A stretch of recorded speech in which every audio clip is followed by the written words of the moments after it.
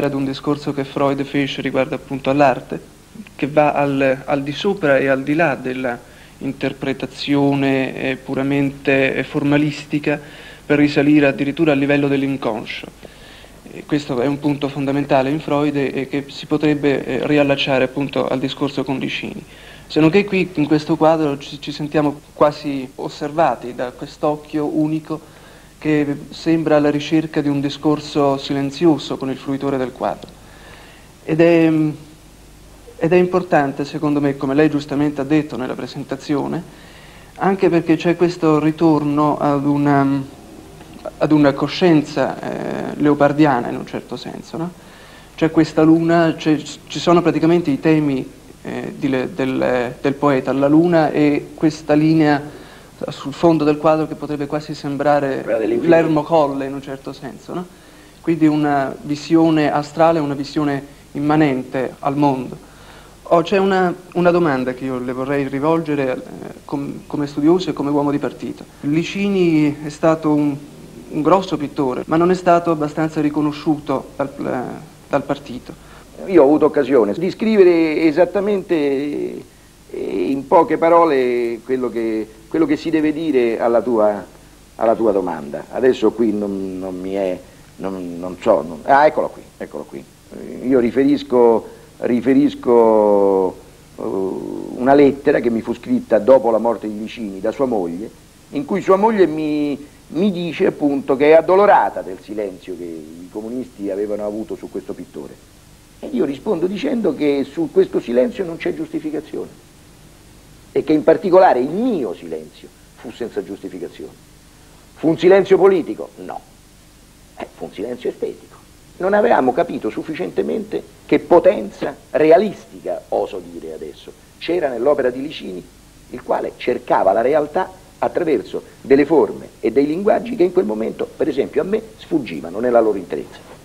Sull'altra questione, che poi si aggiunge a questa e la spiega, quella dell'oniricità di Licini, Marchiori, lo ripeto, prima ha detto, non fu un surrealista. Vi sono elementi di ricerca surreale in lui, cioè quasi un andarsene al di sopra della realtà, ma senza dimenticarla. Forse si potrebbe dire per analizzarla meglio, per vederla meglio. Non c'è mai niente di misterioso nel senso del, del romantico in Licini. Ecco, Licini proprio non è un romantico, insomma. Sì, c'è quell'inquietudine, c'è quell'inquietudine che fu propria casomai e l'hai citata anche te, è stato citato già da tutti, da un grande poeta che fu suo conterraneo e di cui lui è un grande continuatore. Insomma.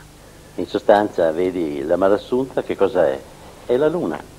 Esatto, è la luna, essere, è la luna del pastore errante nell'Asia, eh, ecco. ma io direi di più, è la luna di Licini. Eh, appunto, è la luna di Licini, è la luna di Licini. È una luna esplorata e dipinta molto tempo prima, perché Licini è morto prima che gli uomini andassero sulla luna.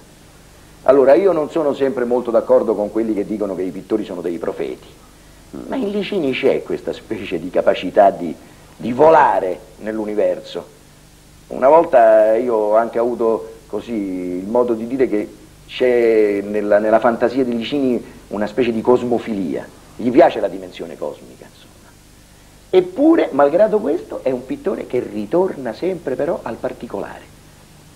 E qui c'è la giustificazione del suo essersi rifugiato nel villaggio, certo. che non fu però un rifugio alla ricerca così di, del particolare, fu un rifugio nel particolare per andare verso un universale. E qui sta la sua grande forza d'artista, insomma.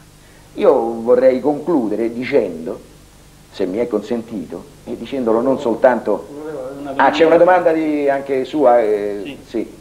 Ehm, a proposito dell'iniziale lirismo e anche naturalismo e chiarismo di Licini, e sappiamo anche dei suoi antichi amori di Paolo Uccello, delle tavolette di, di Urbino e anche dei, del Sassetta a Siena. In ogni modo mi pare che ci sia un um, improvviso capovolgimento di Licini per quanto riguarda la pittura astratta e in questo mi pare che abbia guardato particolarmente a Klee, uno dei maggiori pittori europei del momento. Non riesco a capire questo capovolgimento quasi improvviso di Licini. Beh, io non lo so, però mi pare che se si deve partire da come lei ha impostato la domanda, che Licini amò, non so, un pittore come Paolo Uccello, mi pare di aver capito.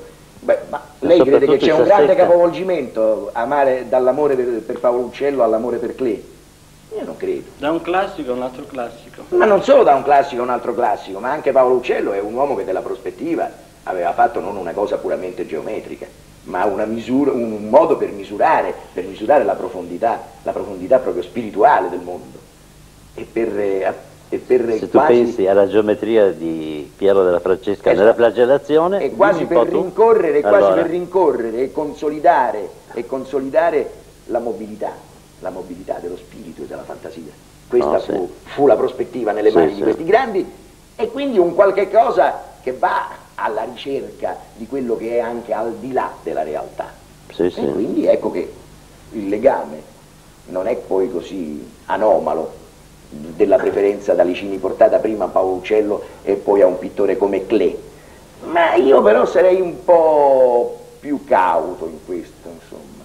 Klee tutto sommato è un pittore di cultura tedesca, insomma.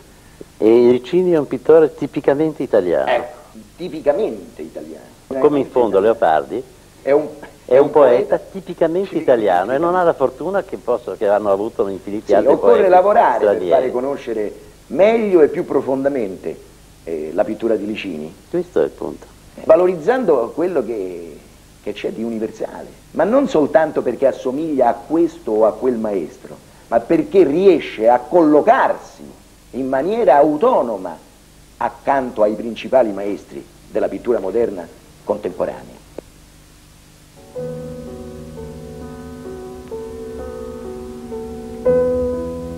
Ecco la luna bella. Mi vedi lassù, mi vedi volare lassù, sulla luna.